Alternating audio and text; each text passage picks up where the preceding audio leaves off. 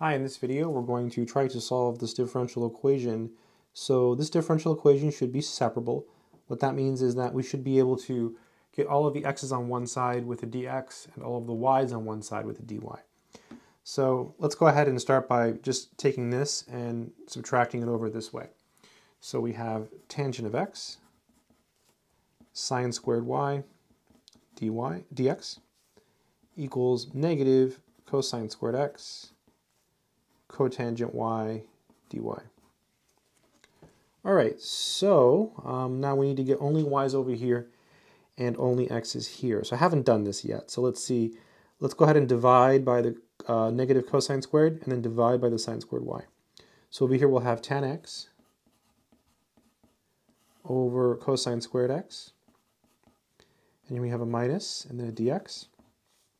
And that'll be equal to here we're going to have um, cotangent y over um, sine squared y dy. So it's not clearly obvious to me. It's not like really, really obvious what to do here.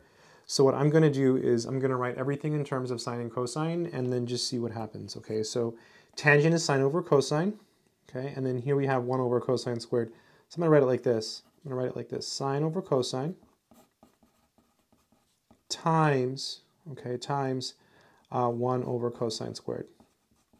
Right, because we're, we're dividing by cosine squared. Same thing as that. Just to make it easier, just so it's not like a fraction over a fraction, right, because we're dividing by cosine squared, so I thought let me write it as times 1 over cosine squared, just to make it easier for me to look at. Same thing here, cotangent is cosine over sine, so I'm going to write it as cosine y over sine y times 1 over sine squared y dy. Okay, so now I see it. I do. So this is going to be multiplying across negative sine x. Cosine times cosine squared is cosine cubed dx. And this will be cosine y sine cube y dy. A little, little bit harder than some of the other ones I was working on. Like, you know, this is a little bit more thought here. So we had the, you know, if you get here, I think a lot of people might might get stuck maybe. Um, so whenever you don't know how to integrate it, um, if you don't, like, it doesn't really fit um, one of the familiar forms if you're familiar with those. So one strategy is just go back to sine and cosine like I did here, and then now it's a little more clear.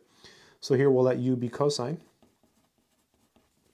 And then so du is going to be the derivative, which is negative sine x dx. Beautiful, right? And that's all right there. Look at that. Worked out perfectly. So that's going to be, um, this integral here will become du, right? Because that whole piece is du. And then the bottom is u cubed. Over here, I'll let w equal the sine of y. So then dw is simply cosine y dy. And so all of that is here. So this is going to be dw over w cubed. Really nice. We bring these upstairs now to integrate them. So this will be u to the negative 3 du. This will be w to the negative 3 dw. And when we integrate here, we simply use the power rule, right? We just add 1 to each of the exponents. This will be u to the negative 2 over negative 2 equals w to the negative 2 over negative 2. And then we'll add our constant of integration, capital C.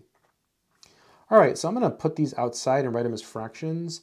Um, or you know what, we can multiply everything by negative 2. Let's do that. Just if you multiply this by negative 2, put a negative 2 here, put a negative 2 here, and bring these down, you get 1 over u squared equals 1 over w squared. Uh, whoops, now put an equals there. And then minus 2c, let's call that k. So you just set k equal to minus 2c. And then u was cosine. So this will be 1 over cosine squared x equals, and then w was sine. So 1 over sine squared y plus k. And if you like, you can go to other functions. 1 over cosine is secant, so you can write the answer as secant squared x equals, and then 1 over sine is cosecant, so cosecant squared y plus k. Much prettier answer. Look at that. Very nice. What a fun problem. I enjoyed this one. This, this is a little bit more interesting than some of the others. Good luck.